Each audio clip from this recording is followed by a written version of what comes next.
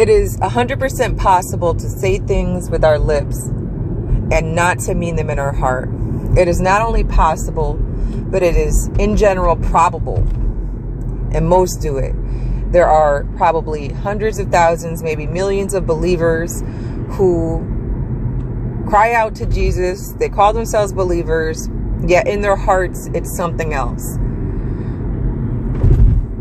There are people out there who smile at others and act like they're friendly and this and that, yet in their hearts, there's hatred. There are people out there who say, Yes, I forgive you. I have forgiven you. I've forgiven these people in prayer to themselves, to other people, yet in their hearts, there's no forgiveness. This is so dangerous. This is why a posture of submission is necessary for the believer because we don't know what we're doing. And not only that we don't know how to do what we what it is that we don't know what we're doing. We don't know anything. There is no goodness or self-righteousness in us we receive the Holy Spirit of Jesus Christ and he, the Holy Spirit within us, it's no longer you who lives, but it is Christ through you, right? So now the Holy Spirit is going to give you all these new inclinations to do good things. Forgive people. Let the Lord heal you from that. You know, da da da da da, whatever it is.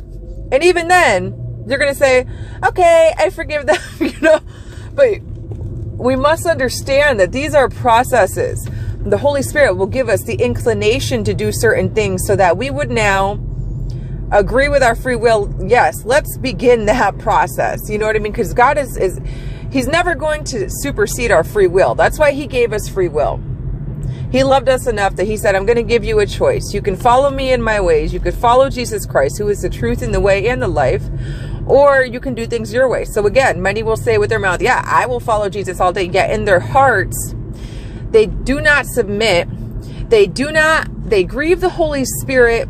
They grieve the transformation process and the things that the Lord wants to do within them by remaining in their self-righteousness, which is sin, by remaining in their pride, which is sin. They say, yeah, Lord, have your way. And then they do things their way. And this probably 95% of the time isn't on purpose it's not on purpose. You know, if, if people knew that they were not truly saved because they claim salvation with their lips, yet their hearts are far from God. They don't actually have a relationship with Him. That all the good works they do, in fact, aren't Holy, Holy Spirit led. They are just, you know, what they think they should do. I should dress this way. I should talk this way. I should go to church on Sundays. I should, I should, I should. If they are following humans and not God himself, then that is the type of believer that you end up with. It is someone who is lukewarm and, you know, the truth is if you're not on fire for the Lord, you're probably not a saved person. You can't have a living faith that produces the gift of the Holy Spirit and not be on fire for the Lord. And is that fire going to look different for everybody? Sure. But is that ever going to produce, is the Holy Spirit within someone ever going to produce a lukewarm believer? No. All believers will go through seasons. Will go through difficult seasons, yes. But the word says that a righteous man falls down, he gets back up. He gets back up. That's why we're called in this race to endure. We're called to endure. Endure. Hold on. Stand firm. Because that's what this is about. Victory was achieved at Calvary. We are all saved people, and it is by our faith that we should receive that salvation. We don't save ourselves. We don't even seek Jesus Christ. Nobody seeks righteousness. Nobody seeks God. That's what the word says, because we don't know how to do it. And then we don't know how to do, again, I'm going to say it, we don't know how to do what we don't know how to do. We don't know really anything. We're just like the blind and dead walking around, and then Jesus touches us and we begin to bloom. And in order to continue blooming, he says, I want to deal with you on certain things. And then you can either continue in this process or you can be a believer that says, okay, you know, I, yes, I forgive them again, but in your heart, you don't. And we do these things for the Lord. You know, people say, the world says, you don't forgive people for for for them you forgive them for yourself and it's just such a prideful like even when it comes to forgiveness the world has found some way to pervert forgiveness that it's not for those you're forgiving it's actually for you that's not true that's another lie from hell That's what they say, right? You don't, forgiveness isn't for them, it's for you. That's not true. And if that's how you really feel about it, then you got a heart issue. Forgiveness is always for them. Ultimately, it's for the Father because we want all souls for the Lord. We want all to turn to the Lord. But forgiveness is for the person. It is. And it's for you last. And that's how everything works. God, then people, then you. That's how everything works. And there's a lot of heart issues out here going on. And it's, it's, it's a lot about forgiveness. There's a lot of secret pride going on with believers that are out here, you know, calling themselves believers, but they don't have the Holy Spirit. They are on fire with saying the name Jesus. They're on fire to call themselves a believer. Many of them have even platforms. They're on fire for the likes. They're on fire for the attention. But because they don't have the Holy Spirit, it's not spirit led work and it's garbage. It is. It's garbage. Whatever's not led by the Holy Spirit is, it's just garbage. It's a dirty rag before God. They remain wicked in their sins because you could do all the good things you want to do. If your heart is full of pride, you're not saved and what you've done will perish. You're not walking in, in, in, you know, everlasting life. You don't have a promise of eternity with the Lord because you, you allow yourself to remain in darkness. That's why the word says, you know, even Satan masquerades as an angel of light because it's easy to do that. It's easy for us to say with our mouths. It's easy to do that and then not to mean it in our hearts. And how, so the question becomes, so then how do you know? How do you know that in your heart? How do I, you know, how do I know I'm not doing this? Then how do I know that I'm not one of these, these fake believers? How do I know that I'm not a counterfeit Christian? By submitting every day, one day at a time. The word says, don't worry about tomorrow. It's got enough of its troubles. Worry about today. Well, you know, not worry, but concern yourself for today. And God's gracious for doing that. I mean, imagine, imagine if you had to take this whole thing on by yourself. But we don't. We couldn't. And God knows that. And so we don't. You know, He sent us Jesus Christ, who sent us Holy Spirit.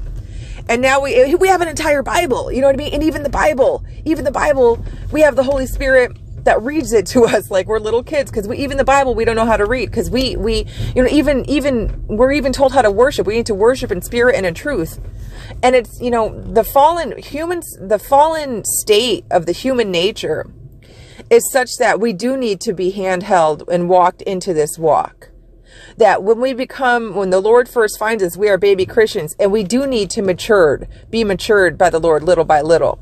Nobody becomes this on fire believer just like that. The word says to wrestle into your salvation with fear and with trembling. And that fear is the fear of the Lord, which is the beginning of wisdom. Everything works in tandem for the believer. And the Lord does it like that because he loves us very much. But you must do things his way. You must do things his way because if you don't do things in the way that the word says, you're going to end up one of these fake believers who says da da da da da with your mouth, but your heart is far from God. Your heart is full of hate and your mouth likes to gossip a lot. And even if you look at people and you smile, hi, yeah, right, then you walk away and you're like, Ugh. That's a haughty person. You know what God, one thing God hates? Uh, the Bible specifically says is haughty eyes. People that look at other people like, because those people put themselves first and they put themselves above other people, above God's people, above God himself, therefore. You have to understand that the word says to humble yourself. Pride comes before a fall. You can either humble yourself or you can fall.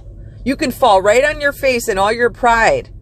And then even then, even then, you better humble yourself. It's not like, oh, you fall on, fa- on your face in your pride and then you get back up and you get dusted off and it's all, everything's all fine. No, you're going to have to humble yourself. That's the way that God said to do things. You have to humble yourself.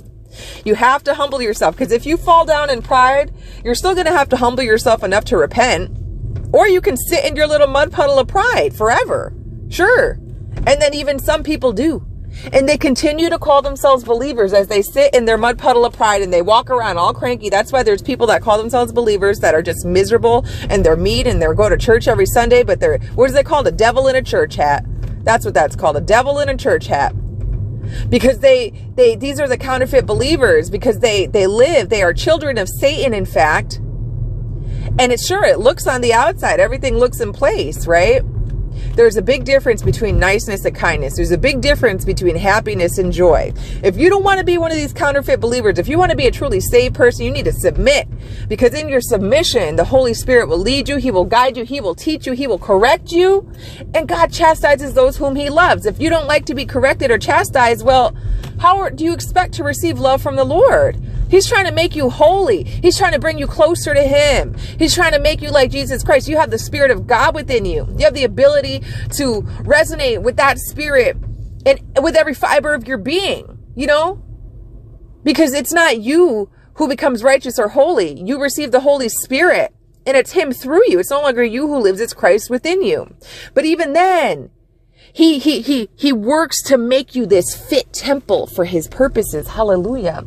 To make you fit for his purposes. And he wants to heal you from your old stuff so he can use you and he's going to bless you on the path. Like there's literally no downfall to submitting. It's just you have to be willing to submit. You have to be willing to put your pride down. You have to be willing to put your shame down, to put your vanity down, to say, I don't know best. I don't know which way to go. I don't know anything. I don't know. Teach me. He will.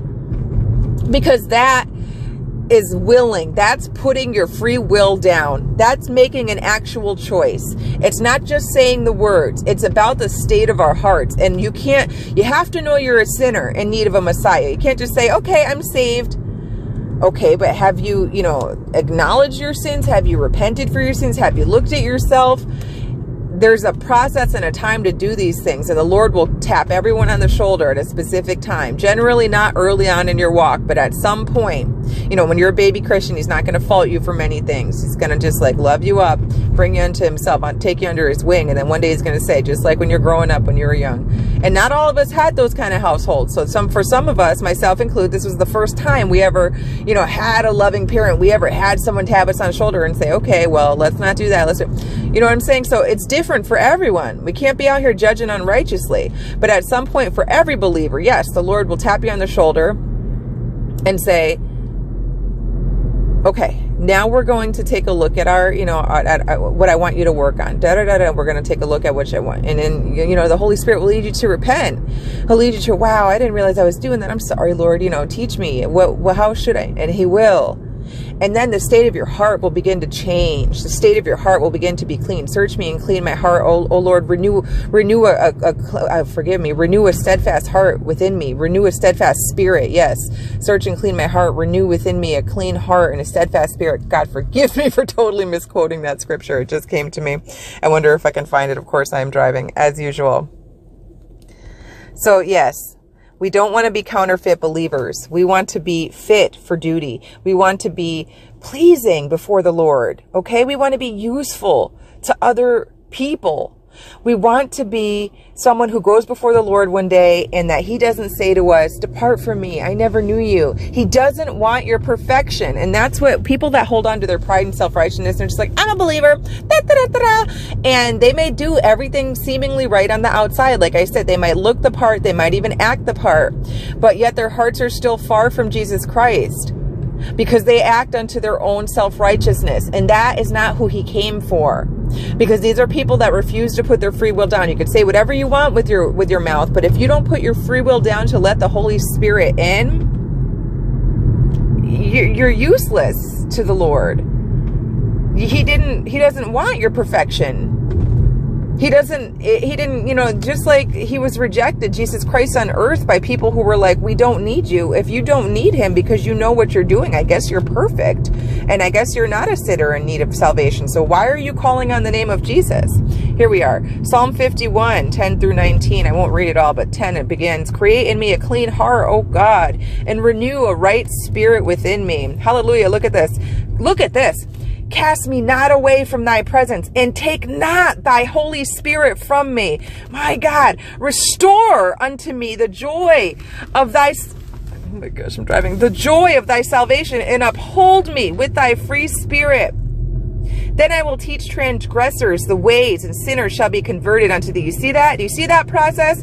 Create in me a clean heart, number one. Restore a spirit within me, Lord. This is asking of, this is a posture of submission, number two. Cast me not away from thy presence, because now you're going to be allowed into his presence because you're not rebu you're re rebuking him. You're not refusing to let him make you a clean heart and renew your spirit. Now you're in his presence. Now take not your Holy Spirit from me. Now you got his Holy Spirit. Restore unto me the joy of your salvation. Now he's going to give you that joy of your salvation, of his salvation. Uphold me with thy free spirit. Now the Lord's going to withhold, uphold you. Then he's going to send you out. Then you're going to be able to teach transgressors thy ways, his ways. Then sinners are going to be converted unto the Lord because of you, because you submitted to the Lord enough that you let him clean your heart up and fix your spirit. You got into his presence. He gave you the Holy Spirit. Hallelujah. Then you're going to be a saved person who is going to be used to save others. Okay? Follow the Lord's ways. Jesus Christ is, is not just a name we call upon. He is the truth. He is the way. And he is the only life. Hallelujah. God bless you.